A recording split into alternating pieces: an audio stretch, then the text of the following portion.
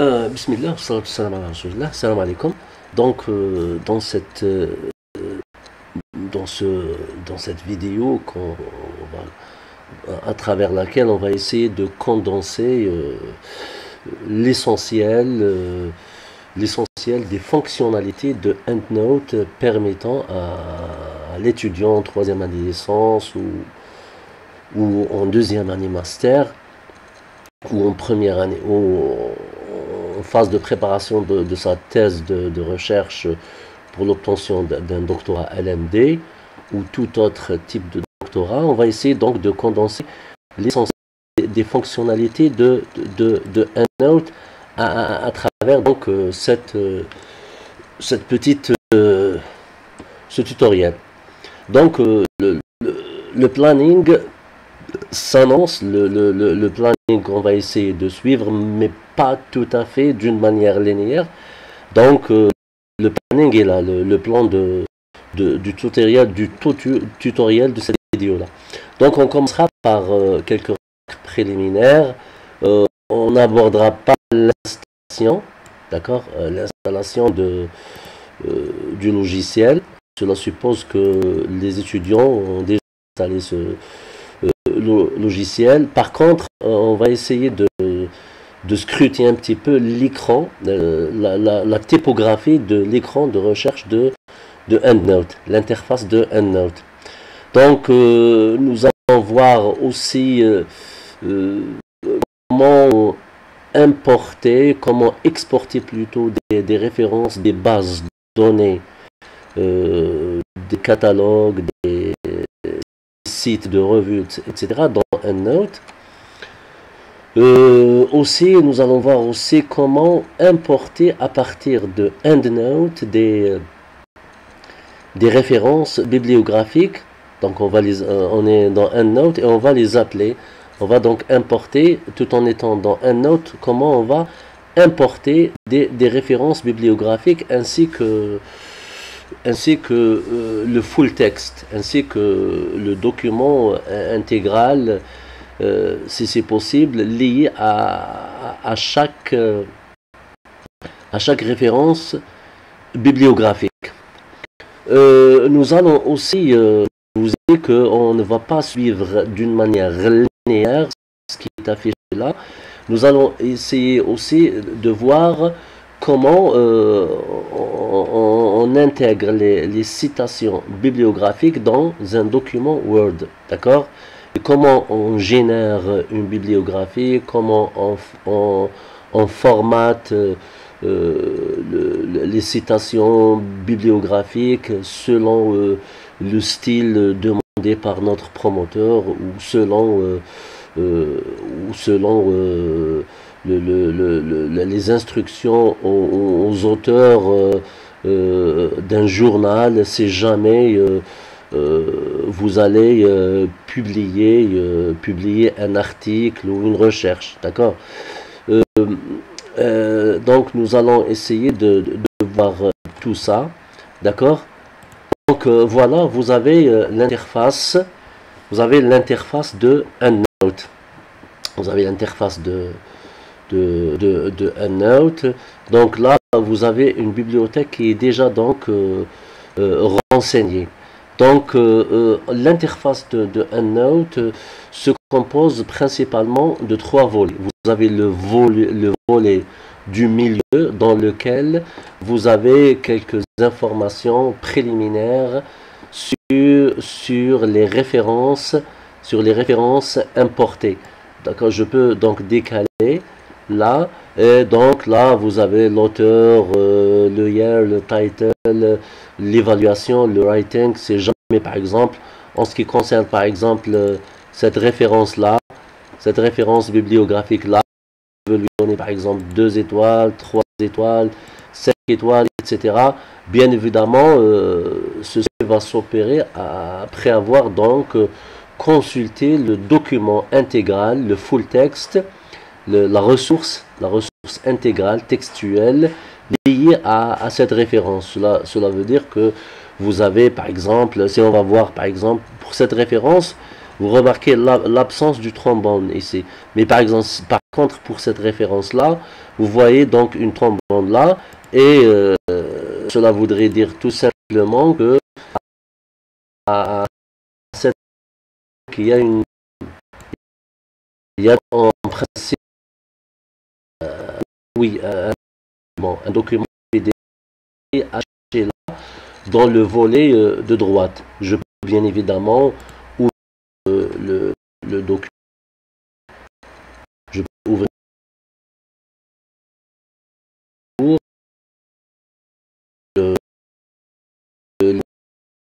l'écran présentant l'éditeur, le propriétaire de, la base de données.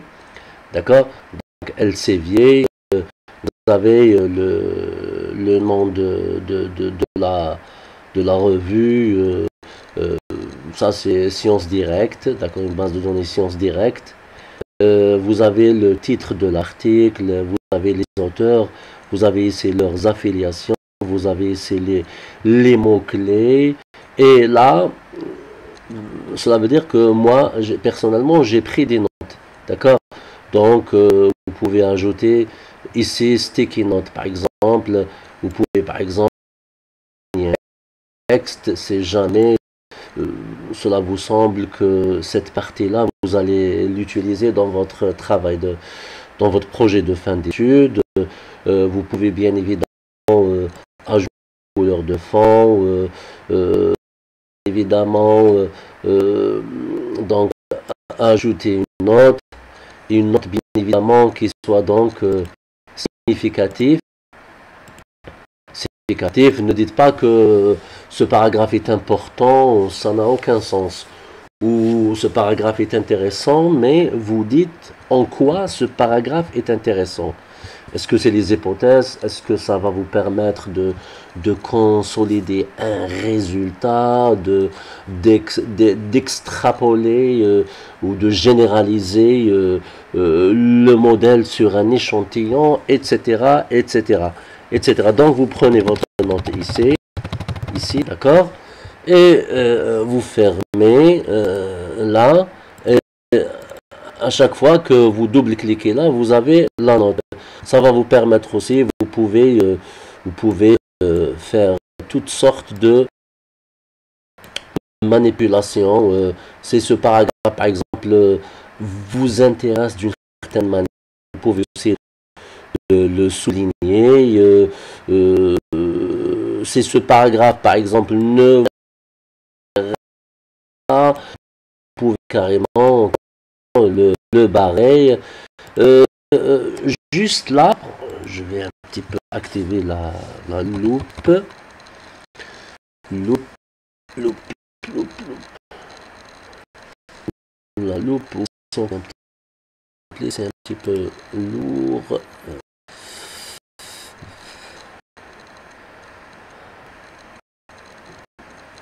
Alors là, on attend un petit peu la, visualisation de la loupe.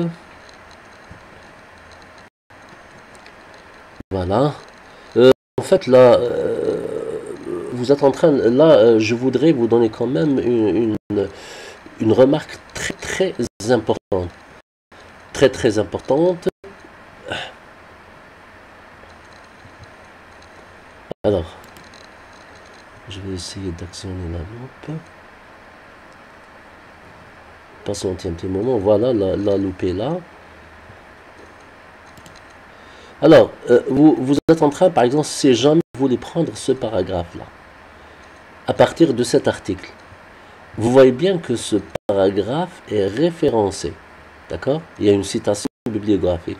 C'est-à-dire que ces auteurs-là, D'accord les, les, responsables, les, chercheurs-là, d'accord Ces chercheurs-là, ben, qu'est-ce qu'ils ont fait? Ben, ils ont préparé cette recherche. Leur projet, leur article, l'intitulé de leur article, le voilà.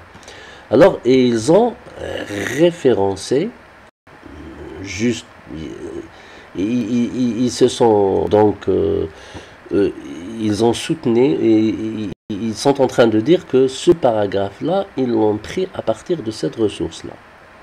Alors, vous, lorsque vous allez prendre ce paragraphe-là, attention, n'allez pas citer ça, parce que là, si, ça, ça s'appelle euh, une citation de seconde main, d'accord? Parce que eux, ils se sont, euh, ils se sont basés sur cette citation et ils ont pris ce texte-là à partir de cette référence, à partir de cette référence bibliographique. Dans la citation, donc voici la citation. D'accord Alors vous n'allez pas faire ça, s'il vous plaît. Lorsque vous allez, si vous voulez prendre ce paragraphe, il faut chercher la source primaire. D'accord Il faut chercher donc le document primaire. Alors tout simplement, euh, ben, vous carrément, vous allez sélectionner sélectionner vous allez sélectionner. D'accord? Vous allez sélectionner cette ressource là ou cette citation là la relancer.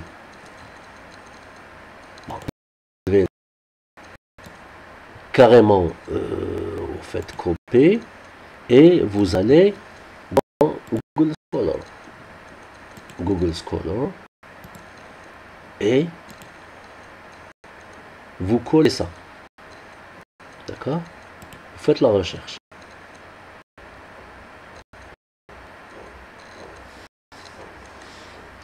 Alors, vous faites la recherche, mais ensuite, il faut comparer il faut comparer euh, euh, ce qu'il s'agit de bon vous avez Kahneman 2003 Tversky Kahneman 74 donc il faut s'assurer il faut s'assurer là il faut s'assurer là que bon Kahneman 2003 on le trouve c'est Dr Cam 2003. On le trouve. Sinon, sinon euh, pour s'assurer que euh, pour s'assurer de trouver euh, en fait la, la, source primaire, ou plutôt la ressource primaire, primaire ou le document primaire, eh ben, il faut. je reviens dans Note. Ça s'appelle Kahman et Tversky. Alors je vais à la fin de l'article. Je vais à la fin de l'article et chercher carrément la référence complète. Eh bien, Tversky et Kahman 74 Tversky et Kahman 74, vous avez une publication qui est là. D'accord? Euh, Est-ce qu'il n'y a pas Kahman Donc le principe est le suivant. Donc carrément, vous prenez, carrément ici, vous prenez le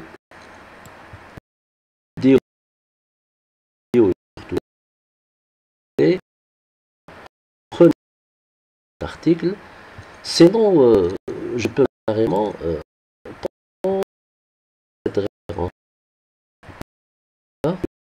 vais prendre toute cette référence, copier, je vais, bah, je vais la chercher dans Google Scholar. Si jamais je ne trouve pas, ben, je vais la chercher ailleurs. D'accord Je lance la recherche.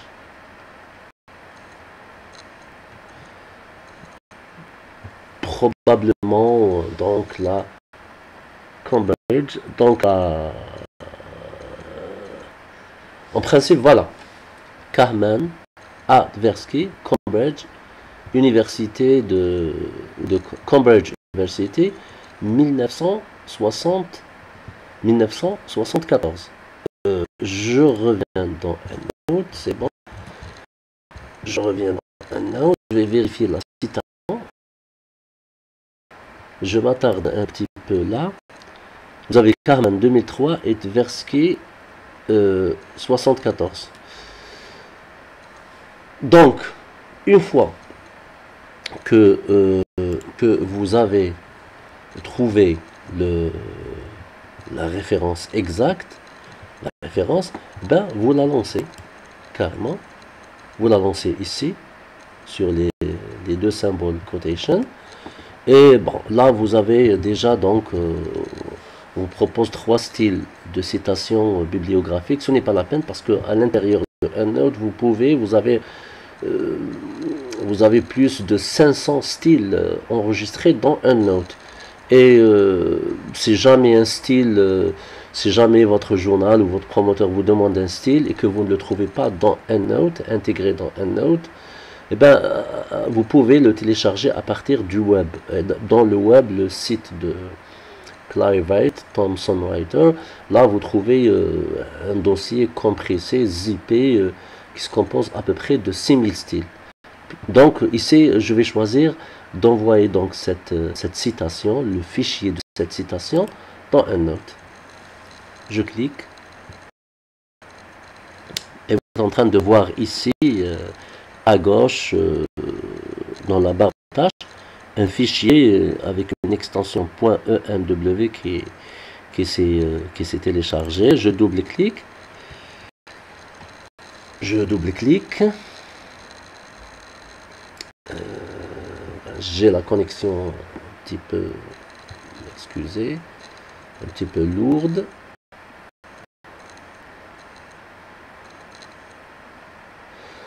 Euh,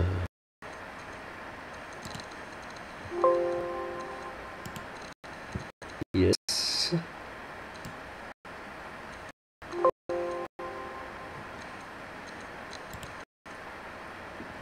Bon, je ferme.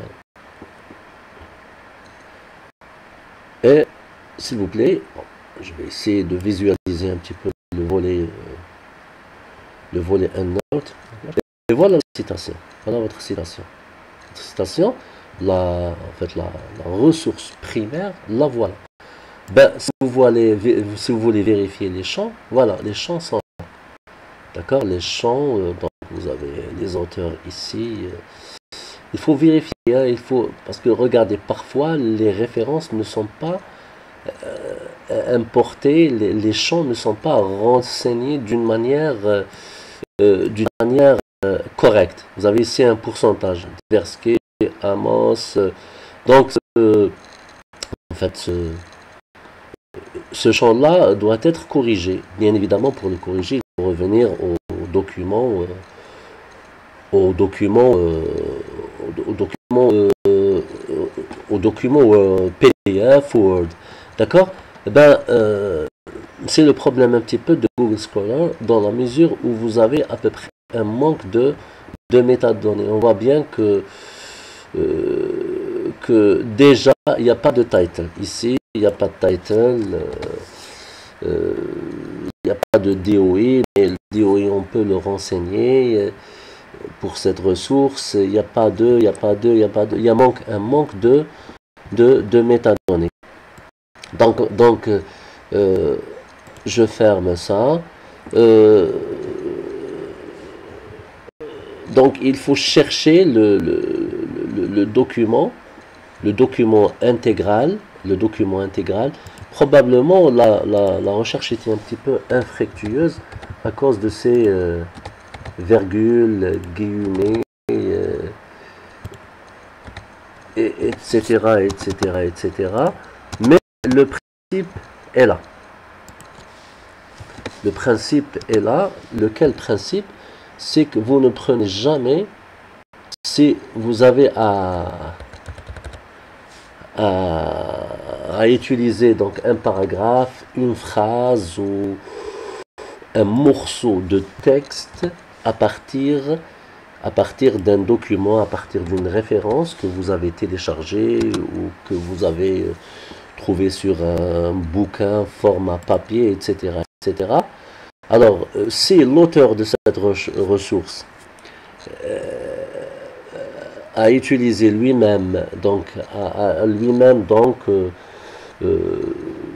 lui-même c'est donc l'auteur de cette ressource lui-même euh, a, pris ce paragraphe à partir d'une autre ressource.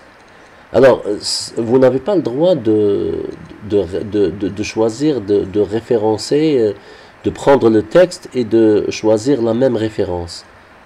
D'accord? Ça, ça serait une référence seconde, seconde main.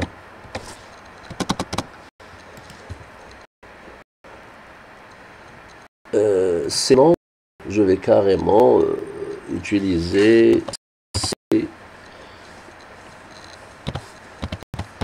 CUB 2021 pour rechercher l'article à partir du, du moment que j'ai son, son DOI.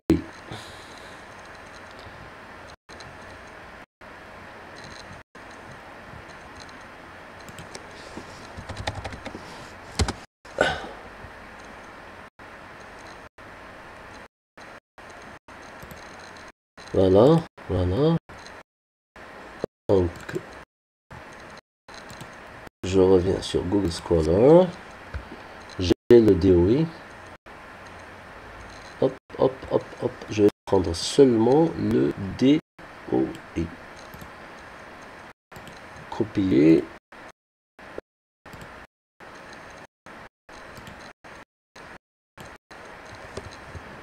Je reviens en arrière sur Google Scholar.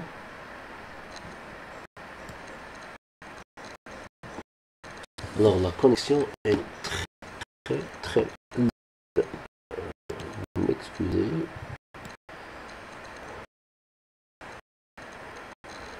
Ça c'est l'interface de recherche de Scopus.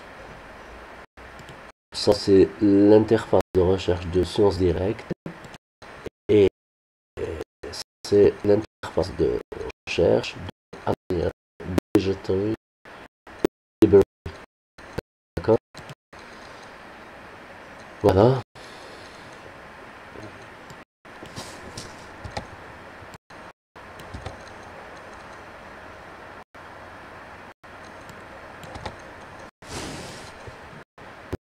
Quand ça est un petit peu lourde.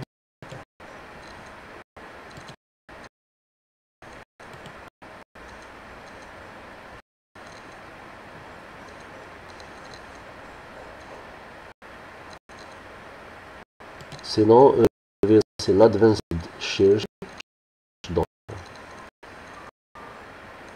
dans sens direct en attendant que la page ça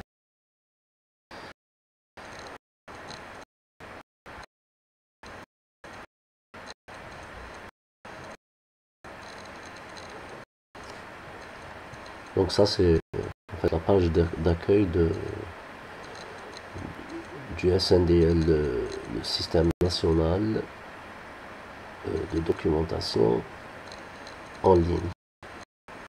D'accord? La page ne encore. Alors, la page vient de, s'afficher. Je vais coller le, le DOI. Le voilà. Donc je le colle. Open.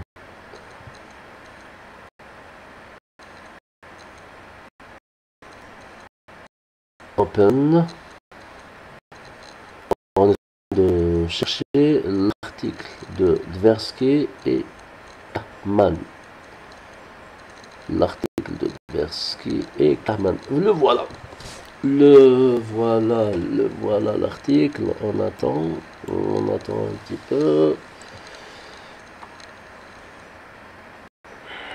Donc c'est un article indexé dans une base de données à partir du moment qu'il a son DOE, son DOI, le Digital Object Identifier.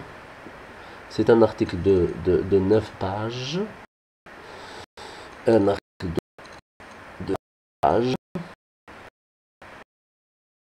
Je vais revenir à la page d'accueil de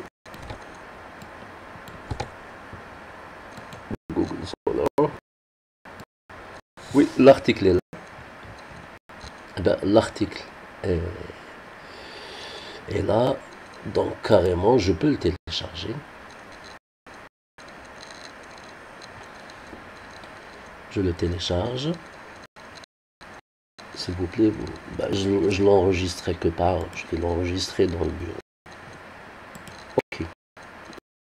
Là, vous avez la, la ressource primaire. Vous avez le document euh, primaire. D'accord? Vous avez le document primaire, donc, et vous avez euh, euh, toutes les informations concernant ce document. Vous avez donc les auteurs Amos Tversky, voilà, copier, on n'a pas le choix. À chaque fois que vous, surtout lorsque vous importez des références à partir de Google Scholar. Donc il vaut mieux euh, revérifier les champs. Parce que déjà dans le champ auteur, il vous a donc, euh, il vous a donc mis Cambridge University, le nom de l'institution. Carrément, euh, eh ben, et c'est comme ça, past. Tversky Tversky, Amos. D'accord, vous corrigez comme ça. Euh, un nom, d'accord, par ligne. D'accord euh, En ce qui concerne le title, euh, vous allez prendre le, le title.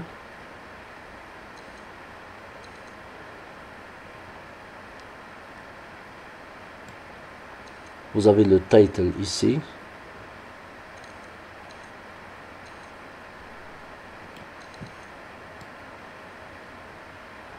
Vous prenez comme ça le title et vous complétez le, les champs. Vous complétez les champs euh, selon les informations. Vous n'êtes pas obligé de, de compléter euh, D'accord, vous, complétez avec les champs que vous avez. C'est un ancien article.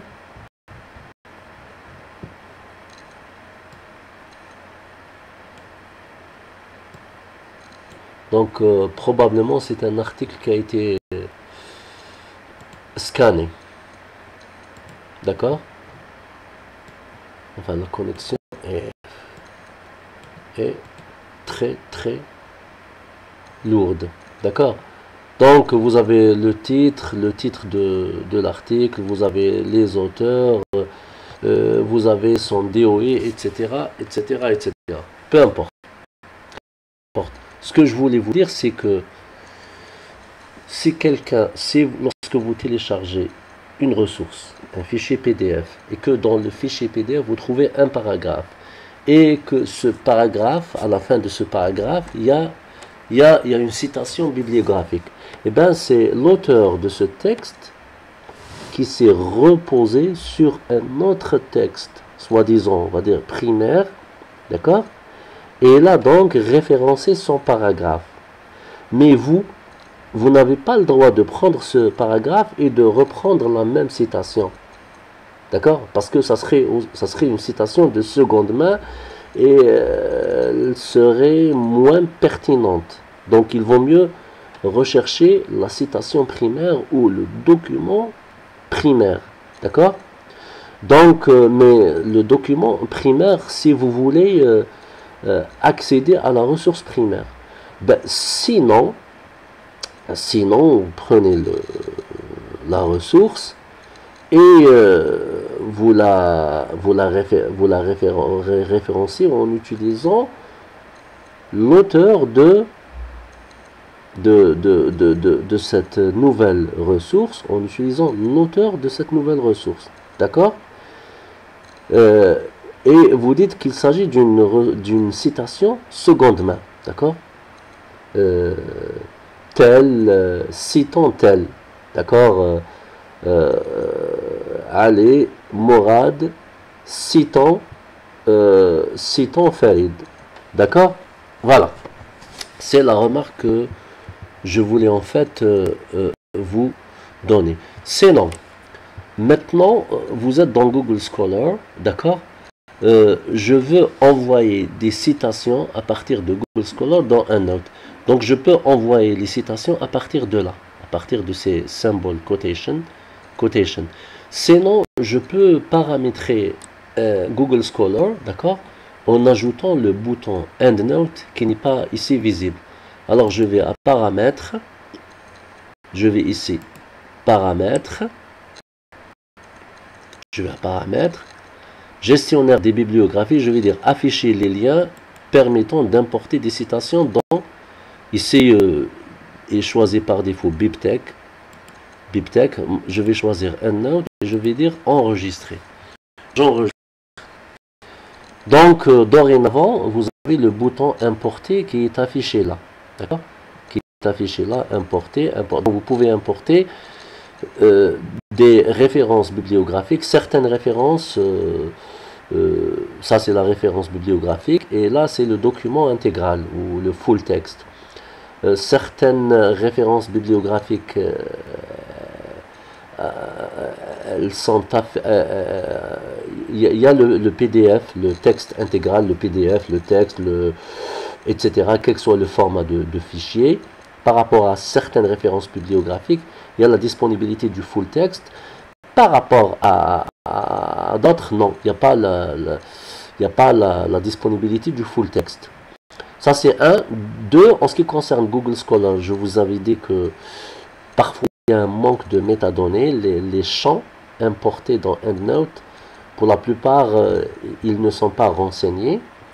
Euh, trois, euh, en fait, la dominance en termes de, ressources, en fait, dans Google Scholar, la dominance, c'est, la dominance est, vous ne trouvez pas assez d'articles. Hein.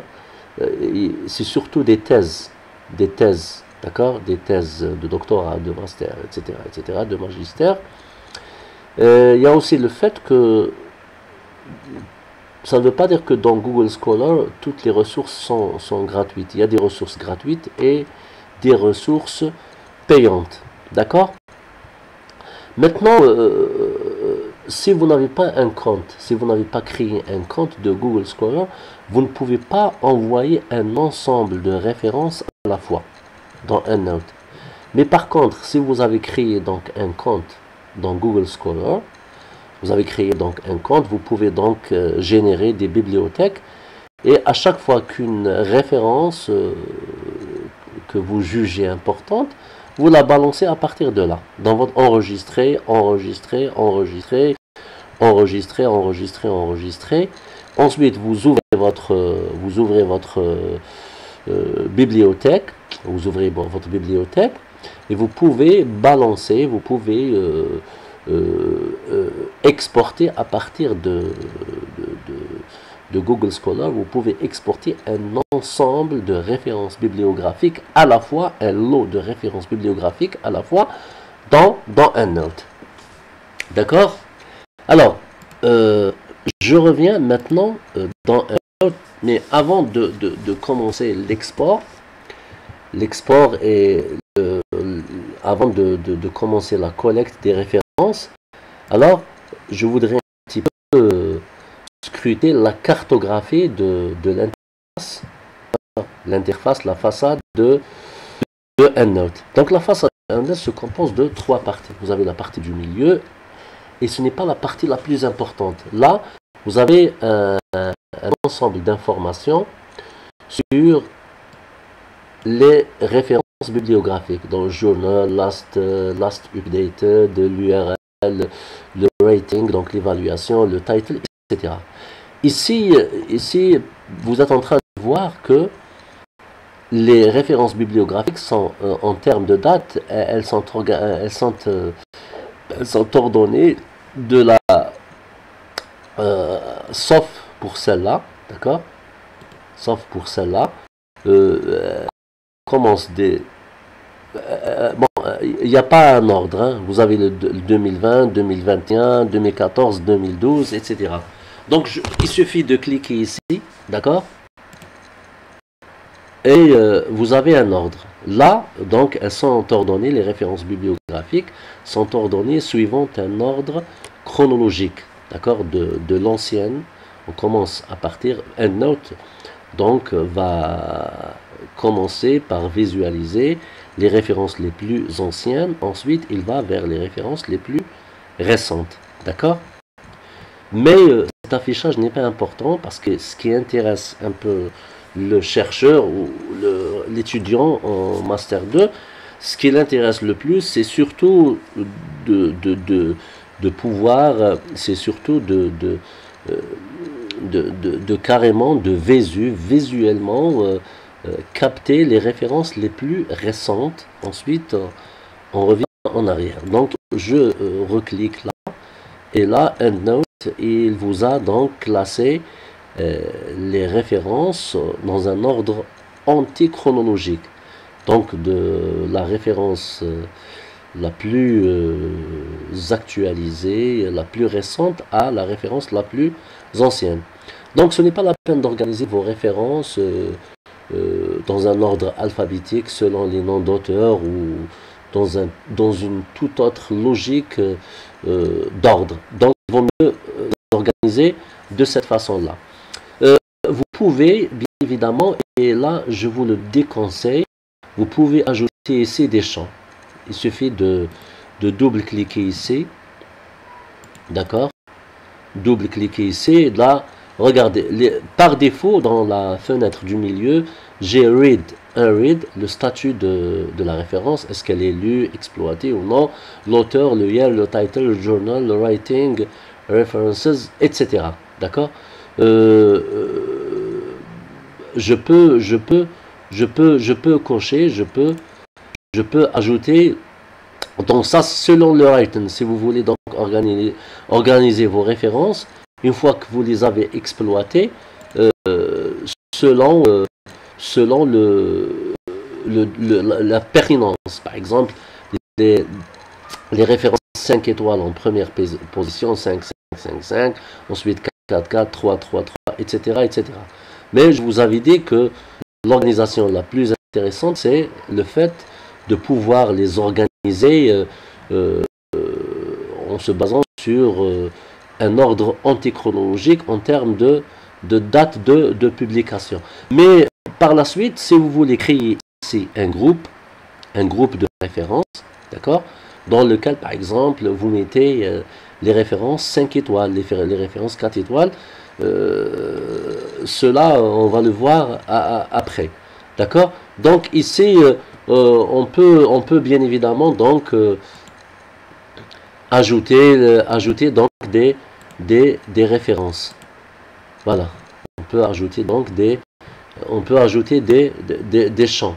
Des champs, et ce n'est pas la peine, parce que le plus important, donc, vous avez le volet du milieu, le volet du milieu, et le détail de chaque référence, vous le trouvez ici référence. Et là, vous avez des...